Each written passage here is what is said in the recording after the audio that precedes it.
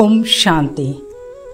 आज परमात्मा का हमारे लिए बहुत सुंदर वरदान है। एक ही संकल्प में स्थित होकर महातीर्थ की प्रत्यक्षता करने वाले जिम्मेवार आत्मा भव। आज परमात्मा कह रहे हैं, ये आबू सारे विश्व के लिए लाइट हाउस है। और इस महातीर्थ को प्रत्यक्ष करने के लिए सभी बच्चों का एक ही संकल्प हो। हर आत्मा को यहाँ से ठिकाना मिले। सबका कल्याण हो। जब यह शुभ संकल्प, जब आप सभी के अंदर जगेगा, सबका सहयोग हो, तब इस कार्य में सफलता मिलेगी।